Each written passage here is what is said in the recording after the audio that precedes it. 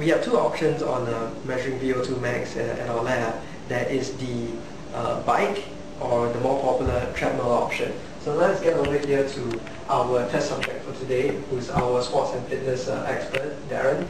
You can see that we've strapped him up to a face mask that will measure the oxygen as he exercises.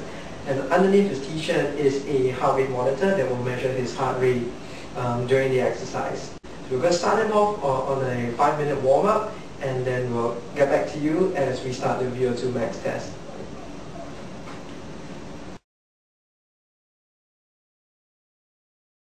So now Darren has been past 5-6 minutes and uh, what we're going to do now to test his uh, VO2 max is every minute we're going to increase the speed and um, his body should be using more and more oxygen until there comes a time that even though we increase the speed, we shouldn't see an increase in the use of oxygen and that will be VO2 max.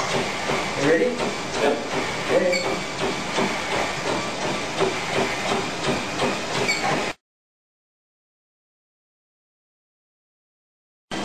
So what's been going on for the for the past few minutes is every minute we've been increasing the speed for Darren.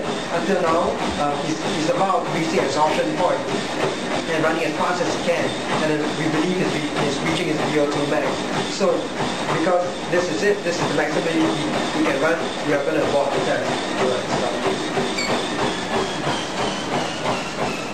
So as he recovers, the VO2 will start coming down. There's a recovery phase, and uh, the maximum VO2 or the amount of oxygen that you use during the test is his VO2 max. So the possible usages of the VO2 max um, would be to monitor your training efficiency. If you're training well and, and you, you measure sequential VO2 maxes, you should see an improvement in that.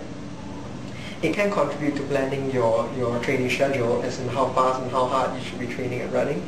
And of course it is a real fun thing to do because you can compare it with your friends and uh, with all the professionals over the world and see where you stand.